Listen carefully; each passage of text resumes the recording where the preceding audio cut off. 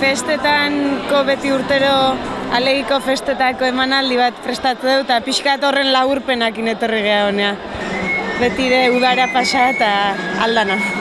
Dantza ezberdinek eskaini txeu, ba, tradizionaleti hasi, ba, agurra eta olakotati, ba, moderno xogoa, ja, marigoran, da, hola, de todo, popurri, indeu.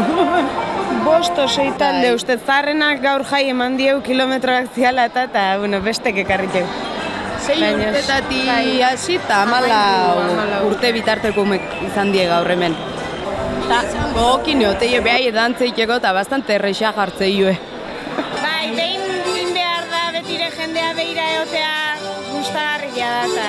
Bai, bai, umek jendea ikusita eta azik eie baita behaiek eta interes, oza, motivazio gehiokin aitzen zaizkiu dantzan, bai.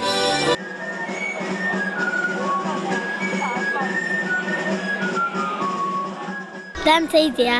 E, txotxongio eta hoi. Eta ze muzatea zaiz. Ondo. Asko ensaiatu alduzue hemen ateatzen. Bai, asko.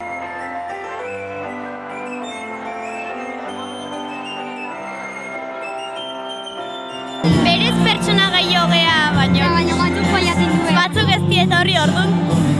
Inire posizioak da aldatu orduan, kristo nerviosak egon. Saiatu eta ondo atea zaigu.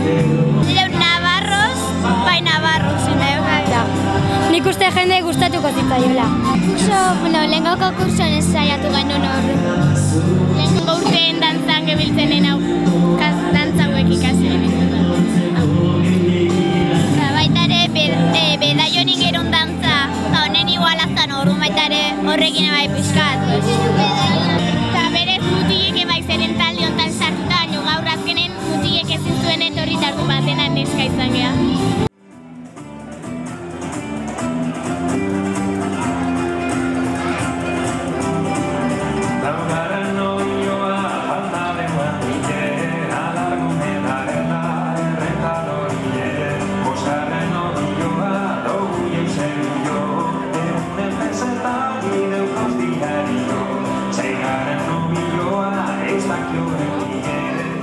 outside